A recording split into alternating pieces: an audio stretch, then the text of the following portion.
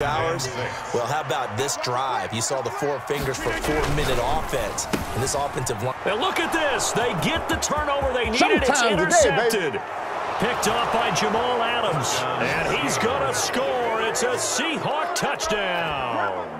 Well, it certainly looked to me like he